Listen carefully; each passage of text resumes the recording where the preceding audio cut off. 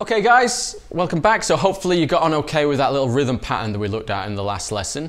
We're gonna now put that alongside the next few bars. So we're gonna be looking today at bars one to eight of the whole section. So we're starting off with the part that we looked at next week and then taking it from there, just, just adding to that, just to, to give us that section. Okay, so I'm just gonna quickly play what we're gonna play and then I'll break it down for you. So we've got this.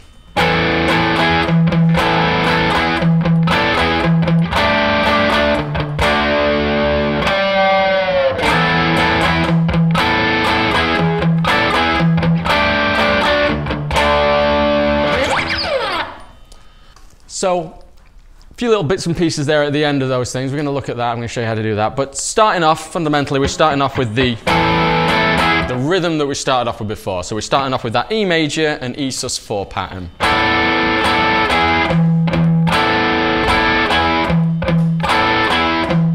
Which by now, hopefully, you'll all be pretty comfortable with, okay? So once we play that, so that's the first two bars, we're then going to move down to a D shape, Okay, same kind of shape at fret 5, first finger at fret 5, your third finger barring at fret uh, 7.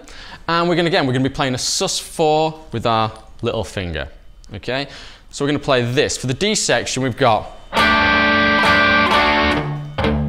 We're just going to play it once. Okay, so once we played that,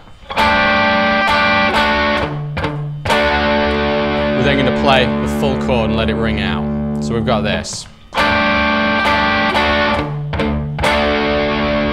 Again, all downstrokes. So I'm going to put that alongside the, the E major chord that we did looked at before. So we've got this.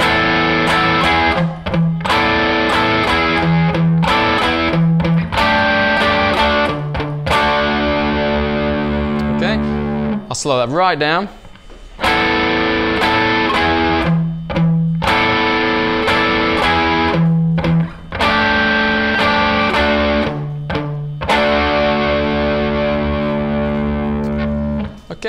Now there's going to be one of Eddie's little tricks that he will put in at the end of, you know, anywhere there's a, a chord ringing out, he's going to do something. He's going to put something, a little bit of a trick in there or something like that. We're going to put a dive bomb in for the first one. Now, a dive bomb, we looked briefly at the dive bomb um, if you covered the, um, when we did the exercise, when we did the tapping, tapping at solo.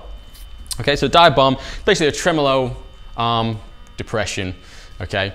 But we're going to use it with uh, harmonics. We're going to play some harmonics at the fifth fret on strings three and four, like so. Okay, and we're going to depress the bar once we've hit the harmonics, okay? Now the trick here is being able to play those harmonics and get to the bar, you know, all within playing that, those rhythm patterns. So I'm going to play it from the beginning, slowly, and just show you how we're going to get into that dive bomb. So we've got this.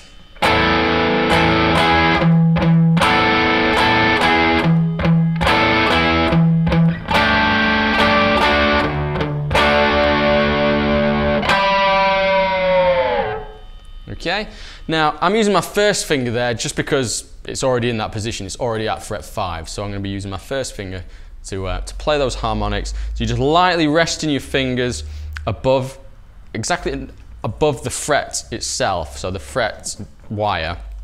You want your finger right above the fifth fret wire and lightly touching the strings and letting go and depressing the bar nice and smoothly, okay? So one more time I'll play that with the E chord.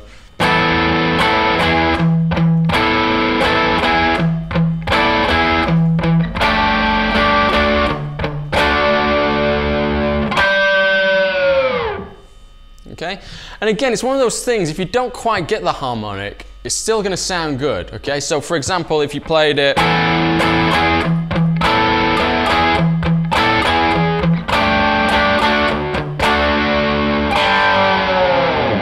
So even with just the open strings, it gives it, you know, it's pretty dramatic sounding thing. So don't worry if you don't always hit the harmonic, you know. Guitar players like Van Halen, things, when they're doing these kind of things, they're never going to play it the same way twice, even, you know, in, in the re reality of things. Always try and aim for it, but if it doesn't go quite to plan, it's no biggie, okay? So let's have a look at the next part. So we're going to do exactly the same thing. So bars 4 to 8, we're going to be starting again back at the E major to the D, we're just going to do a little different kind of tricky thing at the end. So I'll show you what we're going to do for that. Here we go.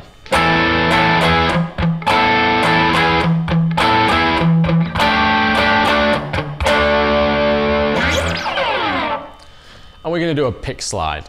Now, I'm playing with lower gain here just so I can teach the lesson so I can hear myself more clearly. When you're going to be doing it, you want to have the gain set to a level so you can do these kind of the harmonic and, and the pick scrapes.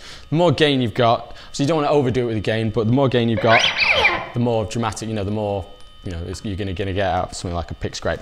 So with the pick scrape, um, I'm, I'm basically going from around the 12th to sort of 15th fret and with the side of the pick scraping up, up the strings, up to the back of the, towards the bridge and then back down. Okay, now on its own like that, it doesn't sound you know, great. It's a, something you've got to do and it's quick and it's just a, okay? And the louder it is, the, you know, the better it's going to sound. So let's have a look where we're going to put that. We're going to put it in exactly the same place as we put the dive bomb in the previous times round. So I'll put it uh, into context for you. So here we go.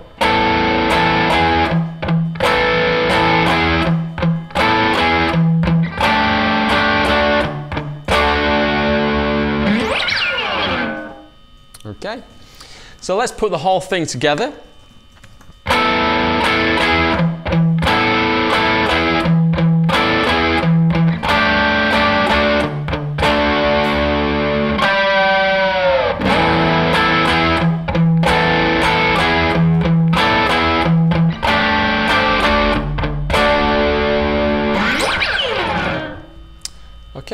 Right then guys, so let's try and put that together. We're gonna use a drum track, we're gonna um, slow it down and see how we get on with it.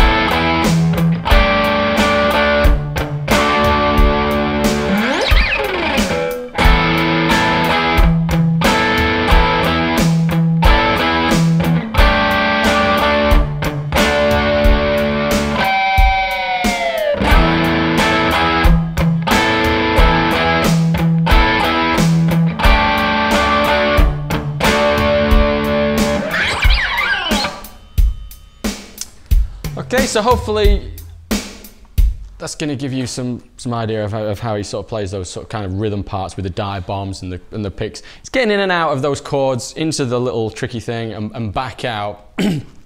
Take your time, just become make sure it sounds natural and uh, and yeah. So have a good uh, have a good practice at that. Try and keep the keep the tempos down, build up the speed, and uh, yeah. See you next time.